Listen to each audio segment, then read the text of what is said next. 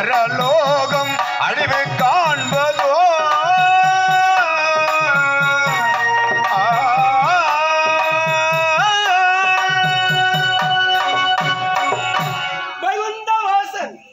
நாராயணன் கோவிந்தன் ஆழ்கடல் கயல் பல நாமதேவன் சென்றார் ஓ நேரத்தினில் தேவலோகத்தில் பஞ்சம் ஏற்பட.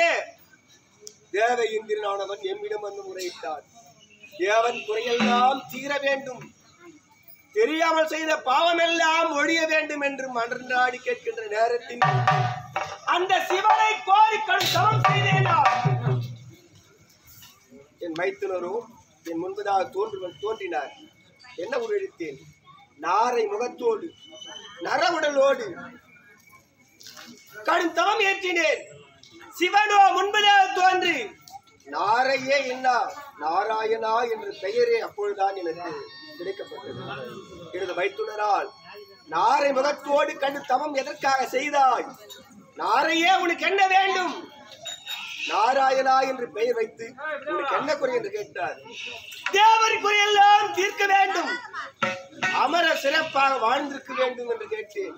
அதுக்கு என்ன வேண்டும் என்று கேட்டார். போ தா என்று கேட்டேன்.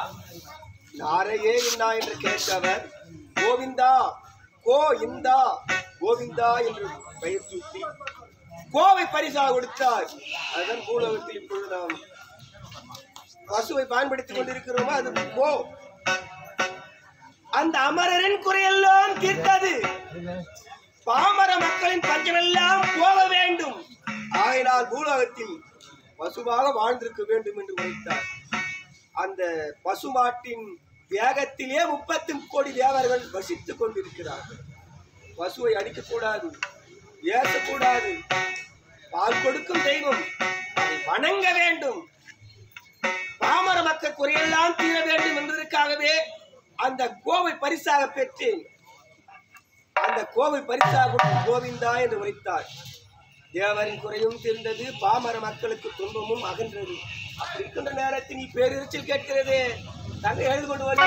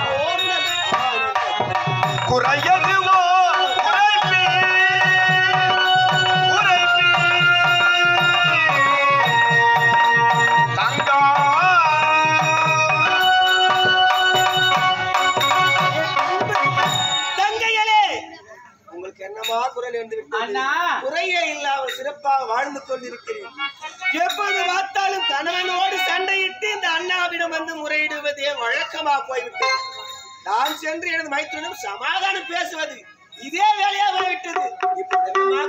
அண்ணா நம்ம சூழ்நிலை மலரோ வாடி விட்டது உருவாக்கப்படுதோ கருத்து விட்டது இதற்கு நாம் காணும் என்னவென்று தெரியவில்லை அண்ணா. என்ன சொல்கிறாய்? அண்ணா இந்த சத்துக்கலாம் சூழ்நிலை மலராகப்படுதோ வாடி விட்டது முகமாகப்படுதோ கருத்து விட்டது இதற்கெல்லாம் காரணம் தெரியவில்லை அண்ணா.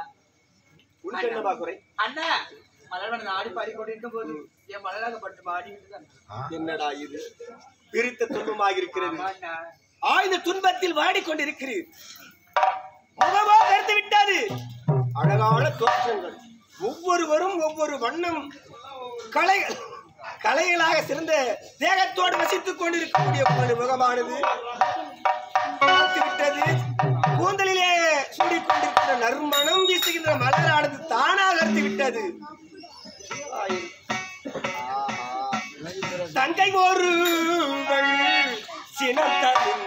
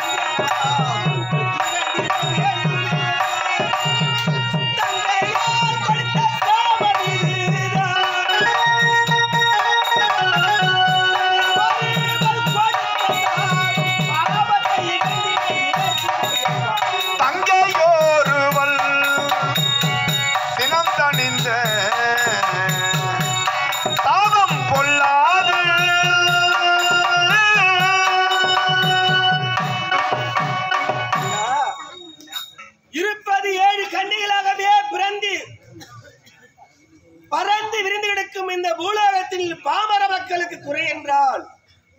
அது பெண்மையே சார்ந்தது. ஏன் என்றால் பெண்மைக்கு எப்பொழுது இருக்க முடம் கொண்டவள் ஆதிசக்தியாக இருக்கக்கூடிய நீங்கள் ஏழு கண்ணிகளாக பூலோகத்தில் உதித்தீர்கள் தோன்றினீர்கள். எங்கெல்லாம் பாமர மக்கள் உங்களை கோரி துதிக்கின்றார்களோ மாங்கல்ய பிச்சை கேட்டால் மாங்கல்யம் கொடுப்பாய். குங்கும பிச்சை கேட்டால் குங்கும பிச்சை இடுவாய். குழந்தை இல்லை என்று வேண்டி வருபவருக்கு குழந்தை வரம் கொடுப்பாய். உடலெல்லாம் நோயாக இருக்கிறது தாயே. என் நோயெல்லாம் போக வேண்டும் தெரியாமல் செய்த தவறெல்லாம் ஒழிய வேண்டும் என்று உன் பாதத்தில் கடவுளாய் உனக்கே நீதிபதிகள் செய்யவில்லை என்றாலும் மனமிறங்கி அவர்களுக்கெல்லாம் வரம் தரக்கூடிய வள்ளலாயிற்றே நீங்கள். ஏழு கண்ணிகளாகவே பிறந்து இருப்பது ஆறு பேர் தான் இன்னொரு எங்கு சென்றாலும் தெரியுமா? அண்ணா பகவதி நாங்கள் தர்த்திக்கிறீங்க அண்ணா நியாயமாயது எங்கு சென்றாலும் ஏழு பெண்களாகவே செல்வி. ஏழு கன்னிகள் என்ற தியாகமும் படைத்திருக்கிறேன். பாமர மக்களுக்கு தனித்தனியே தங்களுக்கென்று ஒரு நகரம் ஒன்று அமைத்து அங்கேயே வசித்து அங்கு வரும் பக்தர்களுக்கெல்லாம் மரம் தருவி. ஆனால் மாதத்துக்கு ஒரு நாள் பௌர்ணமி தினத்தன்று அனைவரும் ஒன்றாக சேருவீர். இன்றைய தினம் பௌர்ணமி அல்லவா? அந்த பகவதி காணவில்லையே என்ற வருத்தம் உங்களுக்கு கிடையாது. அவளுக்கு பெருத்த துன்பம் நேர்ந்திருக்கிறது. ஆகையினால் புவிதனில் நீங்கள் பிறந்திட வேண்டும்.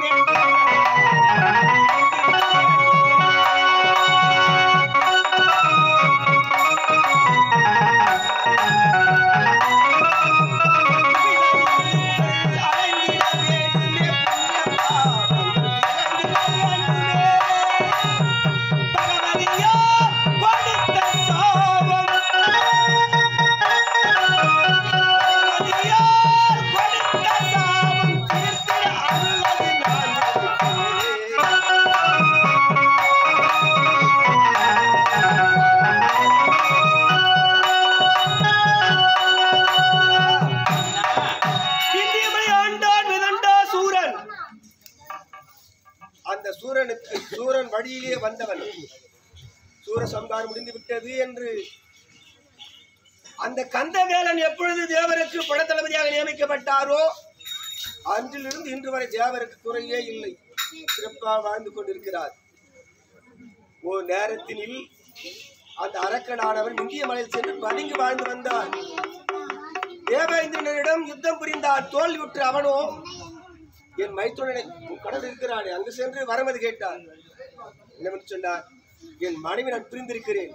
சத்தியற்றவளாக இருக்கின்றேன் இப்பொழுது உமக்கு நான் வரம் கொடுத்தால் பலிக்காது என்று தந்திரமாக எனது மைத்துடன் விலகிவிட்டார். இதற்கு என்ன மாதம் என்று கேட்க மலையாள தேசத்திலே பகவதியாக இருக்கின்றாள் பகவதி அம்மை அங்கு சென்றால் கட்டாயம் வரம் கிடைக்கும் என்று சொல்லிவிட்டு மறைந்து விட்டார் அந்த அரக்கனோ விரண்டாசூரன் கடும் தவம் அது செய்ய உண்பதாக தோன்றினாள் பகவதி. அவளாவது என் கணவன் இல்லாமல் வரம தர முடியாது சொன்னாலா பெண்மை ஆயிற்று இறக்க குணம். மகன் கடும் தவம் செய்து விட்டான். அவனுக்கு வரம் தர வேண்டும் என்று உரைத்த எண்ணத்திற்காக அவளோடு தவறு செய்து விட்டாள். ஒரு பெண்மையானவள் தாய்க்கு தலைச்சும் பிள்ளையாக இருக்க வேண்டும். மற்ற குழந்தை பிறந்திருக்க கூடாது. அந்த பெண்மை தலைச்சங்கரு தன் கர்ப்பத்திலே தாங்கி இருக்க வேண்டும். அப்பாற்பட்ட ஒரு பலி நரபலி பலியிட்டால் நீ கேட்கும் வரத்தை தருவேன் என்று சொல்லி மறைந்தான். வரம் பெற வேண்டும் என்ற அகந்தையால் விதண்டாசுரன் தன் மனைவி என்றும் பாராமல் மனைவி மீது அளவு கொண்ட பாசம் வைத்திருந்தாலும் பதவி வரம் அடக்கி ஆள வேண்டும் என்ற கர்வம் எவன் ஒருவனுக்கு அகந்தை கிடைக்கிறதோ அப்பொழுதே அவனுக்கு அழிவு காலம் தொடர்ந்து வரும் என்பது மறைந்துவிட்டான். தன் மனைவி என்று பாராமல் அந்த வீரவள்ளியை பலியிட்டு உண்மையாக தோன்றினாள் பகவதி கேட்கும் வரத்தை அப்படியே கொடுத்து விட்டாள். கடைசியில் அங்கேயே அவரிடம் அகப்பட்டு பல துன்பங்கள் எல்லாம் அனுபவித்தாள். நான் மட்டும் துன்பத்தில் ஆழ்ந்திருக்கிறோம் நம் தங்கையெல்லாம் சந்தோஷமாக வாழ்ந்திருக்கிறாள் என்ற காரணத்திற்காக உங்கள் முகமெல்லாம்